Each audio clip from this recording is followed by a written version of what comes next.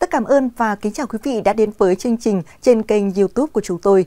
Những thông tin mới nhất, nóng nhất trong suốt 24 giờ qua luôn được chúng tôi cập nhật để gửi đến quý vị.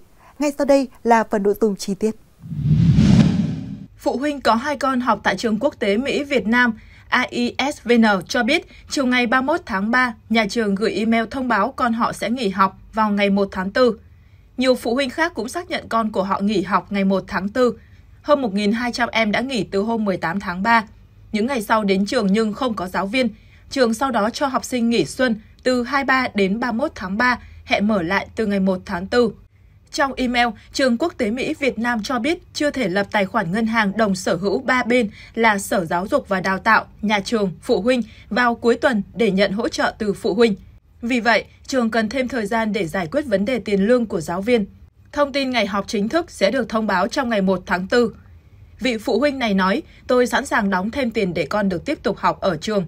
Mong rằng trường cùng cơ quan chức năng sớm xúc tiến việc này.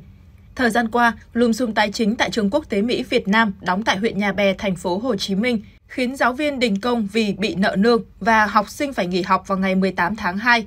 Theo dự kiến, trong một tuần lễ nghỉ xuân bắt đầu từ ngày 25 tháng 3 đến hết ngày 31 tháng 3, chủ trường sẽ mời gọi làm việc với các quỹ đầu tư để có lộ trình, phương án đảm bảo việc dạy và học cho học sinh.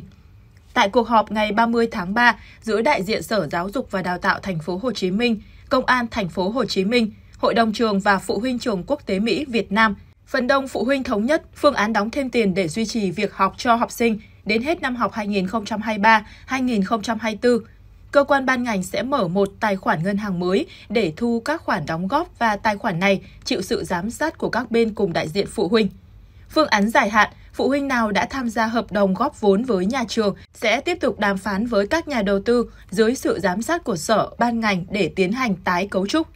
Ông Nguyễn Văn Hiếu, Giám đốc Sở Giáo dục và Đào tạo thành phố Hồ Chí Minh khẳng định, nếu đóng góp, phụ huynh sẽ là người giám sát quỹ này cơ quan chức năng cử người hỗ trợ để học sinh sớm trở lại học tập.